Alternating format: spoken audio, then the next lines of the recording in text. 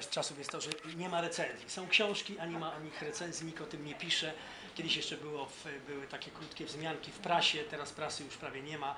E, Wszystko jest w necie, a w necie też niestety e, jest tak, że jak albo się ma kolegę, albo znajomego, to ktoś napisze, a jak nie, to, to te wszystkie rzeczy, te książki nowe gdzieś tam nikną później i każdy musi gdzieś tam sam e, e, poprzez A nawet jak się napisze, to... Proszę? A nawet jak się napisze recenzję, to No właśnie, nie wynika. ale jednak mimo to zostaje, ale to zostaje już, wiesz. Jak się później klika w Google, to jednak widać te, te, te omówienia, recenzje e, tych autorów, także Salomea do, przynależy do tych twórców, którym, o których się powinno mówić i, i jeśli e, autentycznie Rysiek wznowił, no to wydał jej wiersze, no to Były uważam, że problemy z autorstwem właśnie różnych Aha, tak, to i z rodziną, głowę ale przed udało mu się. Bo, no to dobrze, to znaczy, że to jest człowiek, który w akwedukcie chyba tutaj, tak? A nie. No akweduty. A w akwedukcie, tak? Czyli w jego, a no w klubie muzyki i literatury.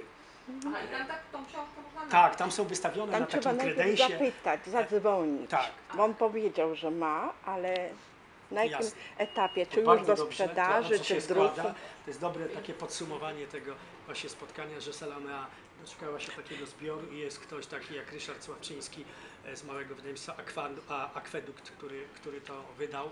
Postarał się to zredagować i, i, i przeszedł tą, tą drogę, gdzie, żeby ustalić te teksty, które e, można, które nie. Ja A może coś bo proszę przeczytać. Bardzo Zasula mnie źle, źle zrozumiała. Chodzi mi o coś jakby jeszcze innego. Bo szczerze Państwu powiem, że przeczytałem te wszystkie wiersze, no może nie aż tak analitycznie i uważnie, zresztą do takiej analitycznej i to jest- wszystko mam pozaznaczane, Tak. ale to byłoby na całą noc jakby. Także powstrzymam się jakby przed tym, ale, ale e, do rana. gdzieś w jakimś barze może, bo tutaj trochę dusznowo jest. Ale słuchajcie, wygląda to tak, że przeczytałem, starałem się, książkę Mirosława Oleńskiego przez światy poetyckie Samo- Salomei Kapuścińskiej. Ewenement, bo rzeczywiście no, takie rzeczy wychodzą stosunkowo rzadko. Y, To, że ona została zapomniana, to jest prawda, bo ostatni tomik wydała w 1993, a umarła w 2016. To policzcie Państwo, to jest prawie ćwierć wieku jakby nieistnienia, ale w sensie takich no, tomików prawda, na, na rynku, no, czyli jest to jakaś forma zapomnienia. To, że ktoś o niej pamiętał, że ją znał, czy zobaczył gdzieś na, na jakimś, w jakimś parku, no to jest jakby inna sprawa. Ale Książka najmłodsi jest- licealiści nie mieli dostępu do książek. nierzetelna. No właśnie. No, no, no, Z tym, że dziwo jej książki były Ponieważ w tej książce o Salomei Kapuścińskiej nie ma nic o Salomei Kapuścińskiej. Oprócz nazwiska występuje o, tylko tekst. To jest taka No. totalna analiza strukturalno-semiologiczna, nie do wytrzymania właściwie. Ja, ja podejrzewam, Dzisiejszej że on dostał na to grant po prostu naukowy aha. i walno, zresztą y, z- proszę zwrócić uwagę na tytuł, Światy Poetyckie. On to tak rozpisał. Także te światy poetyckie są ważniejsze niż Salomea Kapuścińska tak, nie można się o niej nic kompletnie Była dla niego ważna. Ja czytając te teksty, A ja wierzę, bo ja znam kolegę Oleńskiego, to jest bardzo uczciwy naukowiec, tylko że zrobił prawdopodobnie w ramach grantu pracę naukową, którą opublikował jako książkę, bo Tak, tak. w grancie jest też y, opcja y, druku. Tak. To pracy. jest rzecz pierwsza. Ja kiedyś czytałem y, Norwida taką analizę fortepianu Chopina, gdzie autor tej analizy policzył wszystkie głoski, samogłoski, wszystkie przecinki, wszystkie pauzy i ten fortepian Chopina gdzieś tak mu przepadł. Ta książka ma prawie 200 stron drobnego. I honorarium zostało wzięte. No. To jest O co za- chodzi? zabójstwo. Ja wiem, że tak się kiedyś robiło i ja kiedyś też takie rzeczy próbowałem robić, chociaż nigdy nie zajmowałem się krytyką poezji, bo uważam, że to jest tylu specjalistów. Może to był błąd jakby zasadniczy właściwie może- z mojej perspektywy. może A Czekaj, Ula, skończę tylko.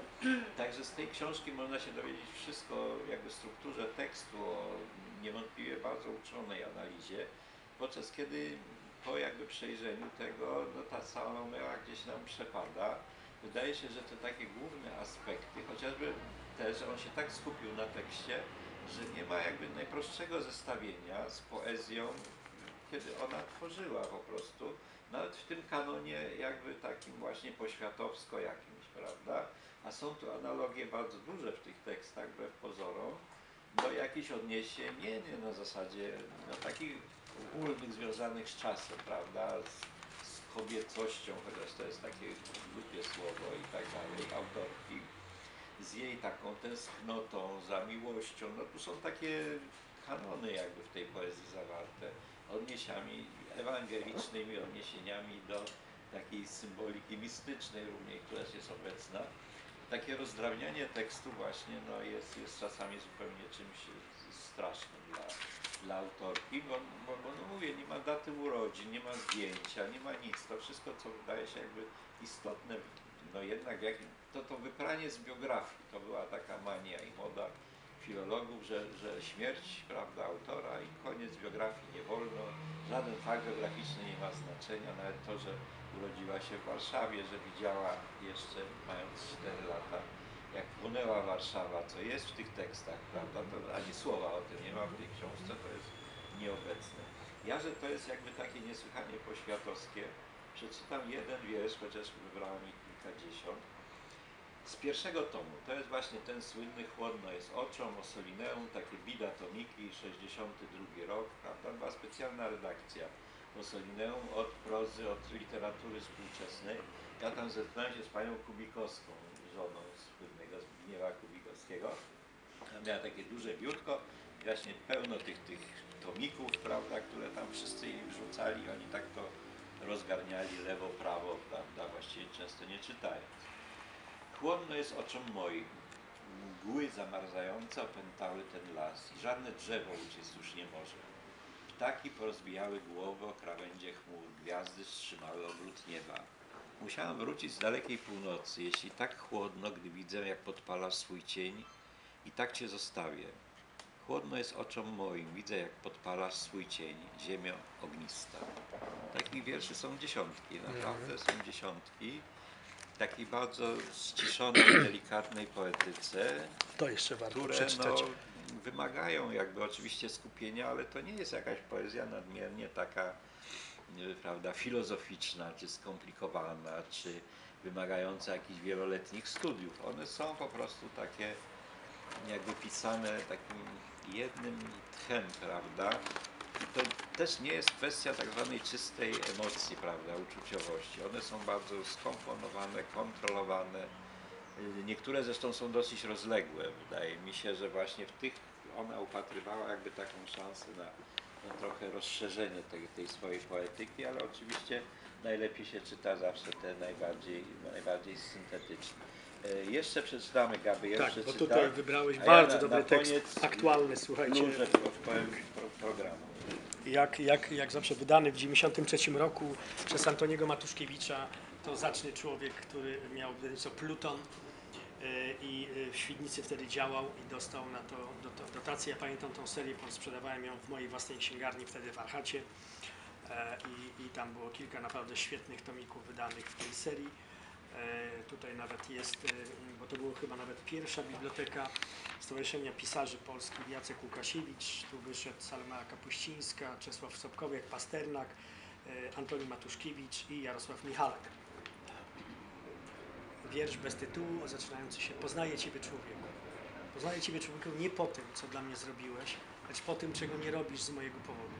Poznaję Cię po tym, że nie kochasz władzy, pieniędzy i mordu, że nie niszczysz drzewa, że źle o mnie nie myślisz, że nie bluźnisz Bogu, nie sypiesz soli na otwarte rany, nie przychodzisz do mnie z sercem zakłamanym. Poznaję Cię po tym, czego nie robisz, człowieku. Naprawdę świetny tekst, naprawdę, słuchajcie, to jest ponadczasowa dziewczyna i dobrze, że ten, ja idę do Ryśka, słuchaj, także jutro podjadę i rzecz, wycyganie tą książkę. Państwu, że, że jest na koniec może. Ja przepraszam, że tak jakby kończymy, no ale to nie chcemy jakby nadużywać, jak to się mówi. Państwa cierpliwości, zresztą no jakby stawki, które tu otrzymujemy też jakby nie skłaniają do dłuższych przemów i wystąpień, ale no to jest... Nie przesadzajcie. Co powie, to by chciał od razu pół tysiąca euro. tak? Ale to taki żarcik, no, no, szef. No słuchaj, kazdepkę bierze, Jacek, kazdepkę bierze 4, 3, 3,5 tysiąca, dowiedziałem się ostatnio od wydawcy i poniżej nie schodzi. Tak? Także no, a taki Nie, żarcik. dobrze to nie ma oczywiście. No. bo wydawca słucha. Także. E, Proszę Państwa, e, to było ciekawe bardzo doświadczenie. Mam takie mistyczne momenty, że coś na mnie gdzieś spada z moich rozległych bibliotek i jakby domaga się po latach przeczytania.